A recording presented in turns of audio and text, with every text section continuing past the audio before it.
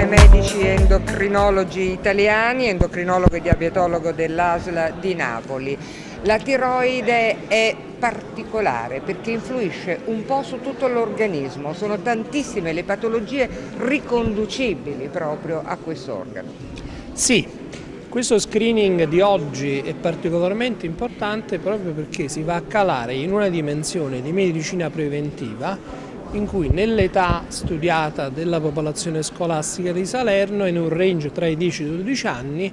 lo studio della funzione tiroidea, delle caratteristiche morfologiche della tiroide attraverso l'esame ecografico consente da un lato di valutare lo stato di salute metaboliche e ormonali tiroidea dei ragazzi e dall'altro di intercettare l'eventuale presenza di una patologia tiroidea di tipo nodulare o di altra natura che naturalmente attraverso questo tipo di esame può essere intercettata e utilmente quindi prevenuta soprattutto nel rischio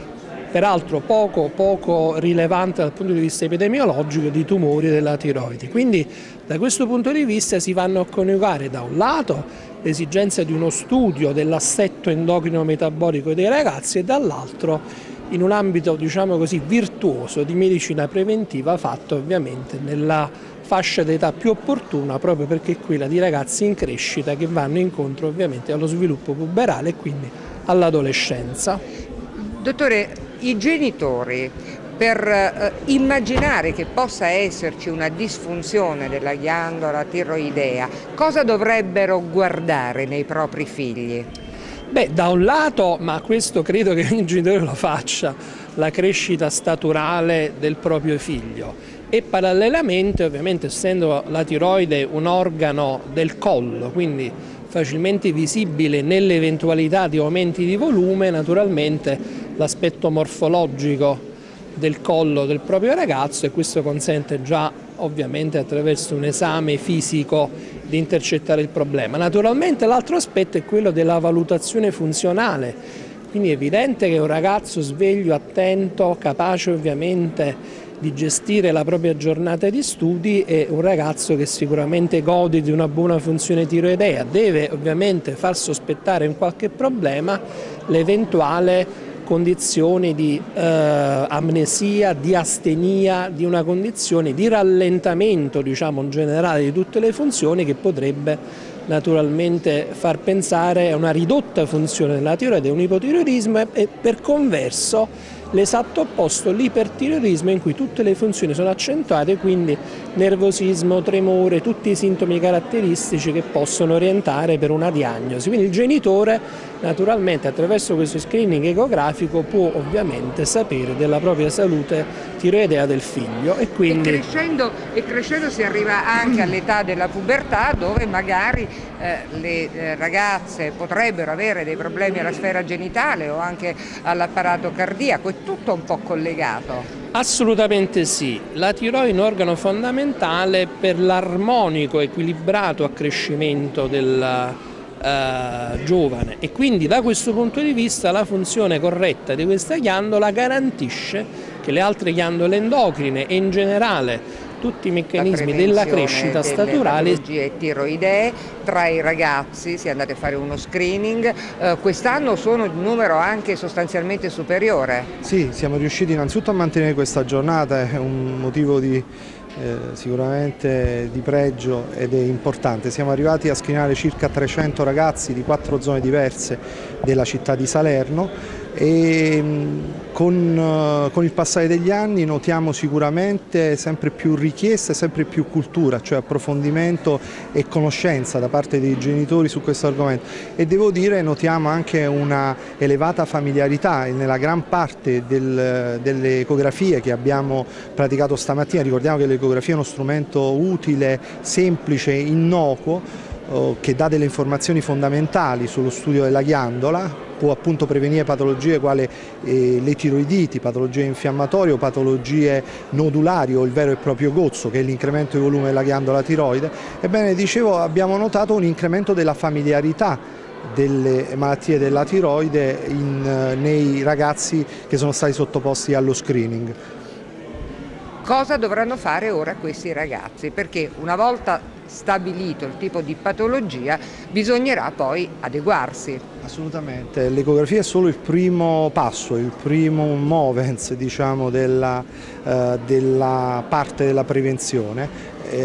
già stamattina abbiamo dato delle indicazioni laddove abbiamo ritenuto opportuno e necessario, abbiamo consigliato il prosieguo, ossia il prelievo di sangue per valutare oltre appunto, la morfologia e quindi la struttura della ghiandola che ripeto si fa con l'ecografia, la funzione si studia attraverso il prelievo ematico e quindi gli ormoni tiroidei e la valutazione anche degli anticorpi per eh, eventualmente eh, evidenziare una possibile insorgenza di tiroidite. Professore, per un genitore è sempre difficile ammettere che il proprio figlio possa avere una malattia. Come prendono questo tipo di screening nelle scuole e qual è la reazione dei genitori quando si dice loro che potrebbe esserci una patologia tiroidea? Dicevo, lo prendono molto bene perché sono stati, se volete, accompagnati in questi anni, educati proprio alla prevenzione, quindi c'è una, una grandissima rispondenza.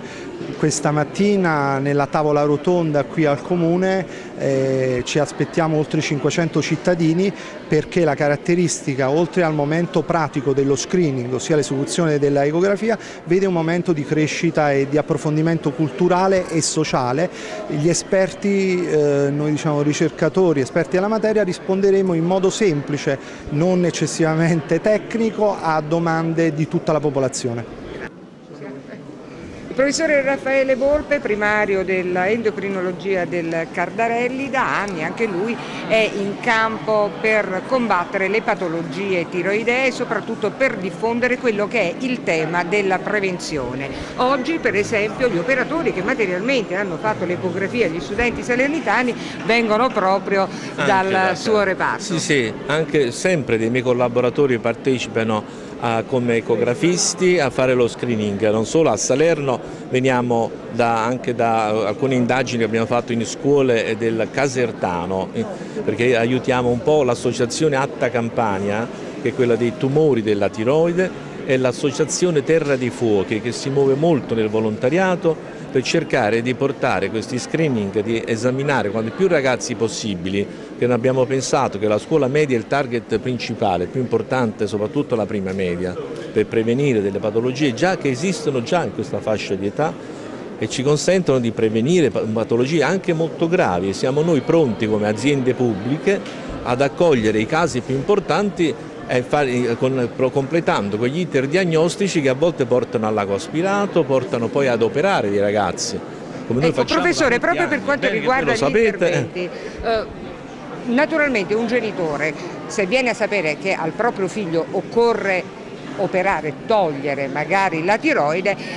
diventa per un genitore un dramma. Eh, vogliamo spiegare a questi genitori che si può vivere tranquillamente, serenamente con ovviamente terapie sì. di supporto e sostitutive. È un dramma da una parte, dall'altro deve essere anche un sollievo perché arrivare in tempo a risolvere un problema è una grande conquista che noi eh, portiamo in questi anni. Che prima non si facevano gli screening, non si conoscevano tante cose, adesso sappiamo l'impatto tossico-ambientale, riusciamo a prevenire con una sana educazione alimentare, cerchiamo di fare gli screening, curare, visitare questi ragazzi nelle nostre strutture pubbliche che accolgono, eh, arrivare a una diagnosi precoce significa anche salvare un ragazzo da una grande disfunzione ma anche la vita salvare perché spesso sono delle neoplasie maligne che sono, sono, diagnosticate in tempo e che portano sicuramente alla guarigione nella maggior parte dei casi. Professore, chiunque si può rivolgere alla sua struttura presso il Cardarelli? Certamente ci sono delle prenotazioni, ovviamente questi eventi servono anche per diciamo, stimolare i politici che spesso negli anni poco hanno fatto, diciamolo, perché spesso noi arriviamo col nostro volontariato dopo l'ospedale, andiamo nei paesi, sono stato al, al,